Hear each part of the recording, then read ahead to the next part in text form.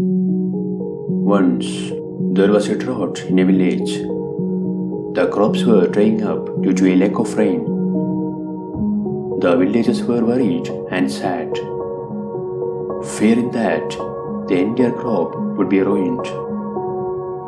Then, one day, a monk came to the village and started dancing with enthusiasm. Anyone who saw him in the village would have considered him insane. Slowly, the news of the mad monk spread throughout the village. People gathered around him to see him, and many started making fun of him. Then, suddenly, the clouds started rolling in and it started raining heavily. The monk stopped dancing, and the surprise of the villagers knew no bounds.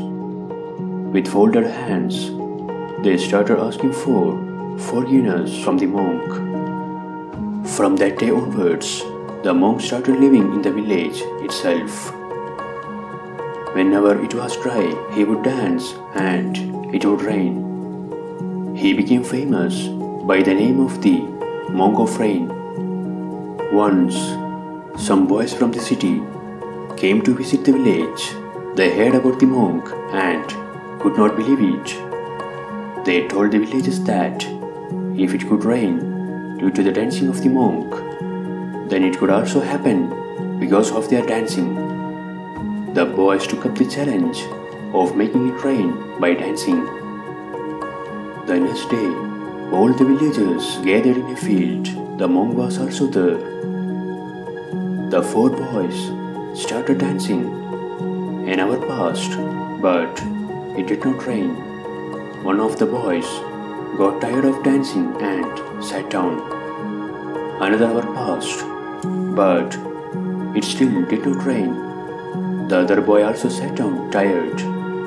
The two boys kept on dancing, but seeing no rain, they too sat down, tired after some time. After that, the monk started dancing. An hour passed, and it still did not rain, but the monk kept on dancing.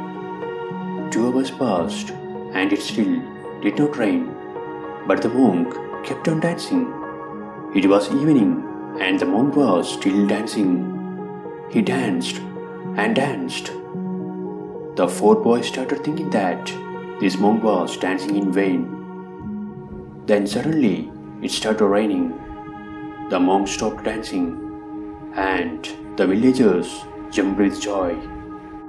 The four boys fell at the feet of the monk and started asking, Guruji, how did you do this miracle? The monk said, I start dancing with the belief that it will rain and keep on dancing till it rains. That's why whenever I dance, it rains. To be successful in any work, start the work with determination to complete it. There will be ups and downs, but don't be deterred by them. Keep working hard, and you will definitely get success in your work.